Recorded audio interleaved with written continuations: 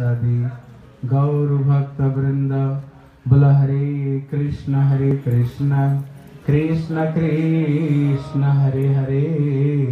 हरे राम हरे राम राम राम, हरे हरे। सर्वाग्रे, मध्य गुरुपाद पद्म, संबंध ज्ञान प्रदाता, नित्यानंद अभिन्न कलेवर नितलीला प्रविष्णु विष्णु पाद अष्टोदर सत श्री श्री श्रीमद भक्ति श्री रूप सिद्धांत गोस्वामी महाराज जी के चरणों कमल में अनंत कोटि साष्टांग दंडवत प्रणाम करता हूँ। तत्पश्चात मध्य शिक्षा गुरुपाद पद्म, नितलीला प्रविष्णु विष्णु पाद अष्टोदर सत श्री श्री श्रीमद भक्ति वेदांत श्रील भामन गोस्वामी महाराज, नितलीला प्रविष्ण भक्ति वेदांत नारायण गोस्वामी महाराज नितलीला प्रविष्ण भक्ति वेदांत त्रिविक्रम गोस्वामी महाराज जी के चरण सरज में श्रद्धा पुष्पांजलि अर्पण करता हूँ। उपस्थित त्रिदंडीपादगण वैष्णव, वैष्णवी, सभी को मैं यथायोग्य प्रणाम करता हूँ। आज दो दो महापुरुषों का तिरुभाव महोत्सव है। कहते भगवान से भी भक्तों लोग ज़्यादा दयालु है। भगवान का केवल एक तिथि हमें मिलती है केवल आविर्भाव। लेकिन वैष्णव लोग कृपा करके हमें दो दो तिथि दे जाते हैं। जैसे भगवान का जन्म, कर्म, चम, दिव्यम, उसी तरह भक्तों का भी जन्म, कर्म, दिव्य है। इसलिए शास्त्र में बताया, न जन्म, कर्म, बंधनम वैष्णवानांच विद्यते। वैष्णव का कोई कर्म बंधन जन्म कर्म बंधन नहीं है।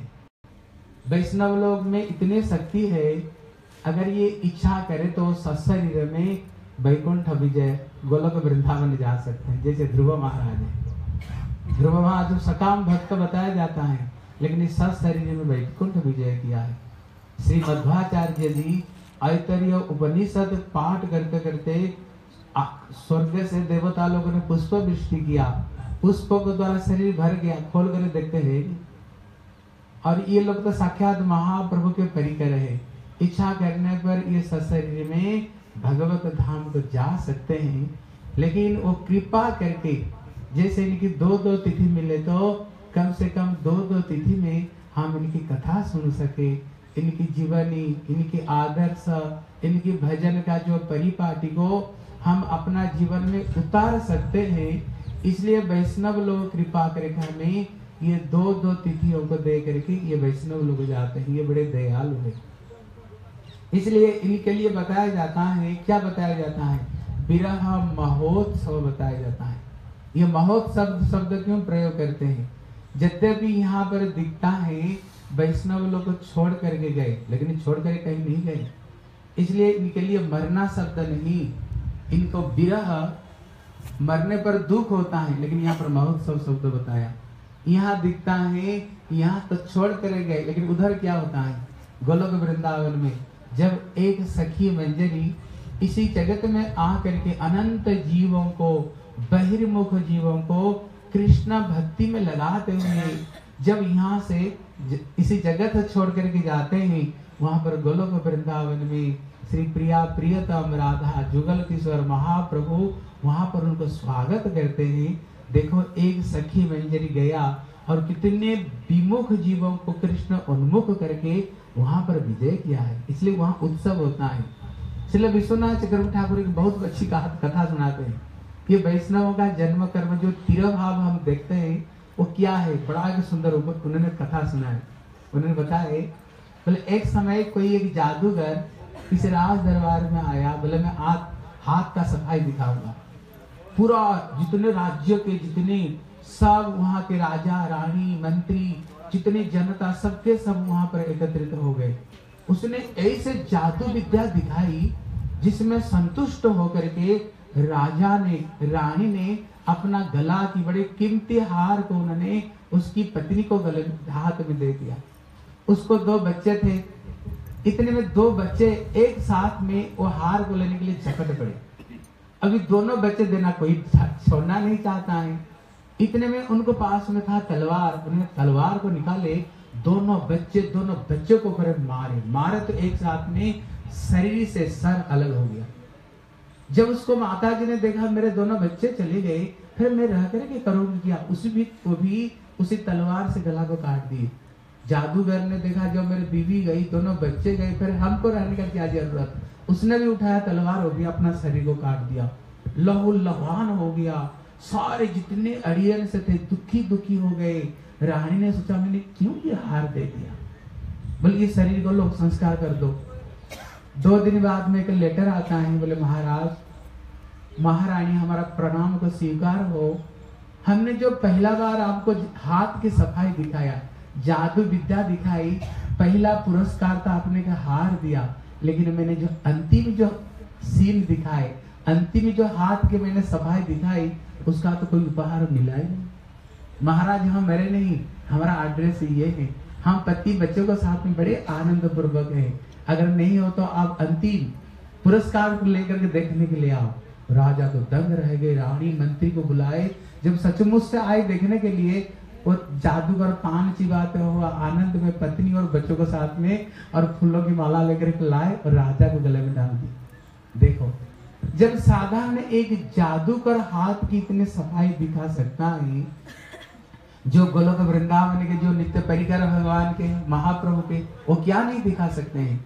इसलिए हमें जो बाहरी रूप में दिखता है, यहाँ ये जगत छोड़ करके चले गए, वो कहीं नहीं गए, वो कहाँ गए? हाँ हमारे गुरुदेव एक अच्छी बात बताते जैसे कभी कभी पिता माता बच्चों को, बच्चे को चलाना सिखाते हैं। अंगुल पकड़ करके चलाना सिखाते हैं। लेकिन कभी कभी क्या करते हैं, वो बच्चा को मैंने जो अभी तक सिखाया अंगुल पकड़ करके चलाना, वो क्या सही चल पाता है? कभी कभी पीछे खड़े होकर बच्चों को आगे बढ़ा देता है।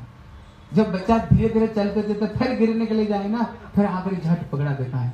कहते उसी तरह हमारे गुरु वर्गों का जो अंतर ध्यान है, ठीक ऐसे ही है वो कहीं नहीं गए। अभी तक उन्होंने डायरेक्ट रूप में हमें जो शिक्षा प्रदान की, अभी हम उनकी शिक्षा में कितने शिक्षित है? अपना जीवन में इनकी उपदेश को कितना हम जीवन में उतार रहे हैं? वो केवल ये चीज़ को देखने के लिए पीछे केवल बैठे हुए हैं, लेकिन वो कहीं गए नहीं। अभी इसलिए आज हमारे भक्ति वेदांत श्री बामन गोस्वामी महाराज की आज इनका तिरुभाव है। वो बहुत बड़े संत इस साक्षात रूप में ये प्रभुपाद से हरिनाम ग्रहण किया है। इसलिए प्रभुपाद का जितने गण है, वो कोई साधारण व्यक्ति नहीं। है? इसलिए श्रील प्रभुपाद कहते, राधा रानी की नयन मणि मंजरी है। जब उन्होंने देखा ये जगत जीव कैसे भक्ति से विमुख हो रहे हैं, महाप्रभु जिस धारा को उसी जगत में लाए धीरे धीरे कैसे आउल बाउल नेड़ा नेड़ी दरवेशाई सखी बेटी अपसंप्रदाय कैसे इसको तसनस कर रहे हैं। ये चीज़ को देख करके ये नयन मणि मंजरी को श्री महाप्रभु श्री राधा रानी कहते नयन मणि मंजरी देखो ये जगत का दुर्दशा को देखो, तुम जाओ, लेकिन अकेले मत जाओ, तुम अपना परिकरों को लेकर के जाओ और जा करके महाप्रभु का वाणी को प्रचार करो। इसलिए प्रभुपाद इसी जगत में जब आए, वो अपना पूरा परिकरों को ले करके आए। अब महाप्रभु जब ये हरिनाम कर रहे थे, जब दुखी हो गए, मैंने गुरु वर्गों का आदेश को हम कैसे पालन करूँ? क्योंकि उनको भक्ति विनोद ठाकुर, श्री जगन्नाथ दास बाबा जी महाराज गौर किशोर दास बाबा जी महाराज, प्रभुपाद की विद्वता को देख करके उन्होंने बहुत कुछ रिस्पॉन्सिबिलिटी उनको देख कर गए भक्ति सर्वस्व गोविंद महाराज की जय।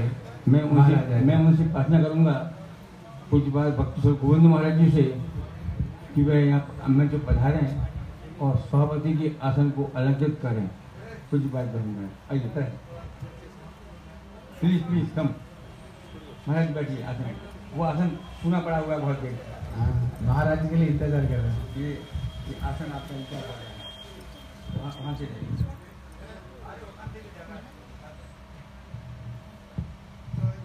मैं चाहूँगा इस मठ के सेवक सभापति का माल्यार्पण करके स्वागत करेंगे एवं मंचस्थ सभी सन्यासियों का माला पहना करके स्वागत करेंगे। सभी सन्यासियों जय हरे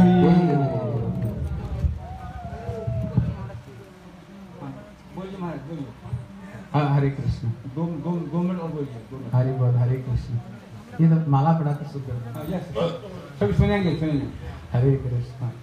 हाँ,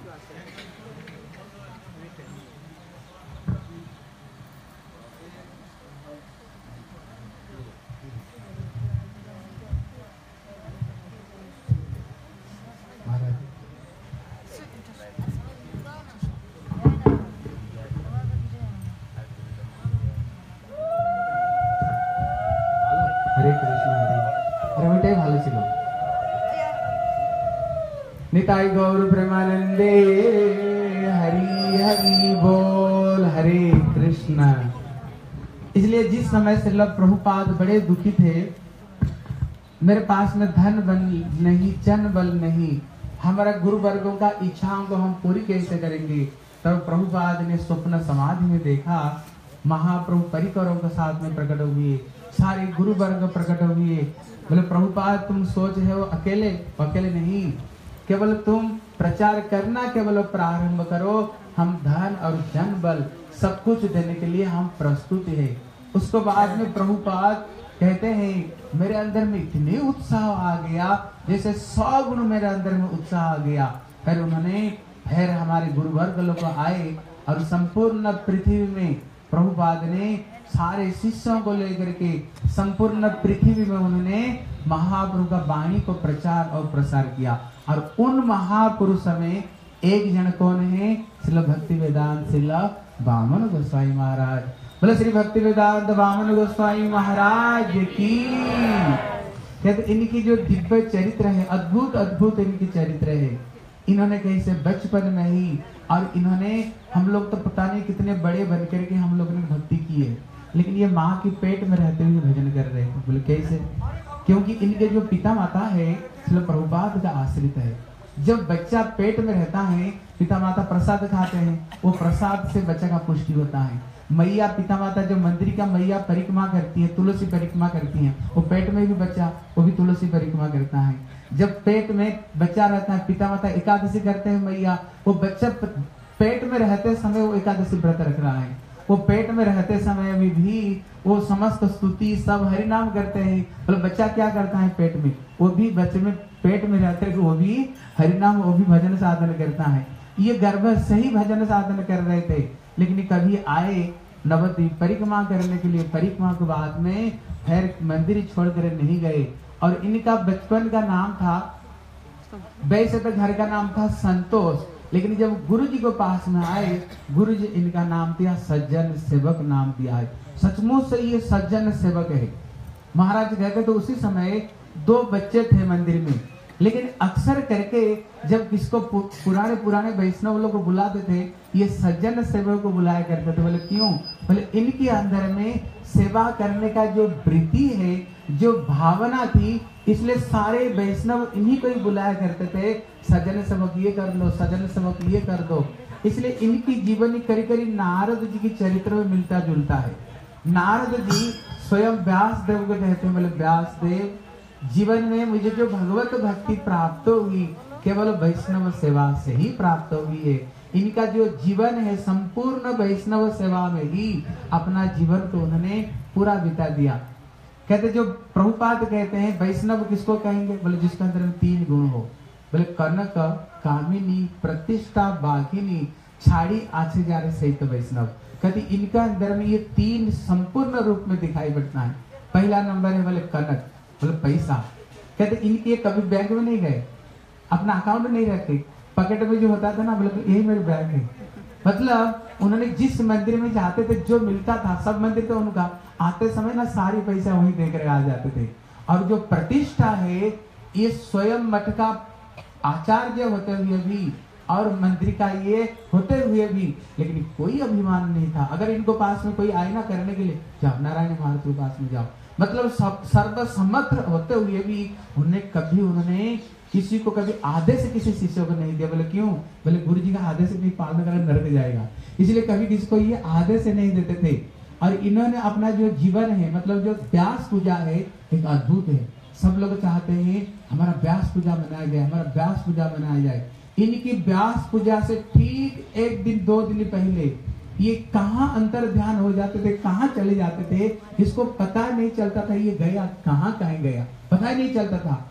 इसलिए भक्ति प्रज्ञान केशव गोस्वामी महाराज कहते थे मतलब मंदिर का जितने सारे सेवक है, इनकी सेवा को अगर एक तरफ़ में कर दिया जाए, और श्री बामन गोस्वामी महाराज का सेवा को अगर एक तरफ़ कर दिया जाए ना इनकी पल्ला भारी पड़ेगा। मतलब गुरुदेव अगर किसी सेवक के लिए बोले, ये बात, ये कितने बड़ी बात आप सोच नहीं सकते हैं? कभी उन्होंने सबको प्रश्न किया, बताओ तो भक्ति का डेफिनेशन किया है? सब लोगों ने बड़ी बड़ी भक्ति का डेफिनेशन बताया। लेकिन इनका जब बता, एक मिनट खत्म कर रहा जब उन्होंने इनका जब बताया, उन्होंने भक्ति का डेफिनेशन एक बहुत बड़ी अच्छी बात बताया बोले, देखो गुरुदेव, मैंने महाप्रभु को भी नहीं देखा है। मैंने नित्यानंद प्रभु को भी नहीं देखा। मैंने सड़गो स्वामियों को भी नहीं देखा। नरोत्तम श्यामानंद किसी को मैंने नहीं देखा। मैंने देखा अगर है ना, अपना गुरु जी को हमने देखा अपना गुरु जी को देखा है। अगर हमारी सेवा से, अगर श्री गुरुपाद पद्म अगर प्रसन्न हो गए ना हम सोचेगा हमारा भक्ति करना सार्थक यही भक्ति का डेफिनेशन है। गुरु जी की संतुष्ट ही भक्ति का डेफिनेशन वास भक्ति प्रज्ञा केशव गोस्वामी महाराज का हृदय तो प्रेम में गदगद हो गया। इनकी बहुत अच्छी अच्छी शिक्षा है अच्छी अच्छी चरित्र है समय हो गया और बहुत सारे वैष्णव लोग हैं। इसलिए इन्होंने जो जो जीवन में शिक्षा दिया है आदर्श दिया है वैष्णव सेवा की उन्होंने शिक्षा दिया है वो हम लोगों पर में आशीर्वाद करे। कभी ना कभी इनका आदर्श का पथ पर चल करके संपूर्ण जीवन को जैसे हम भगवान की भक्ति में लगा सकते हैं। इसलिए आज इनकी तिरुभाग में महाराज के चरण में हम यही प्रार्थना करते हैं। वंशा कृपा सिंधु पतितानां पावनेभ्यो वैष्णवेभ्यो नमो नमः।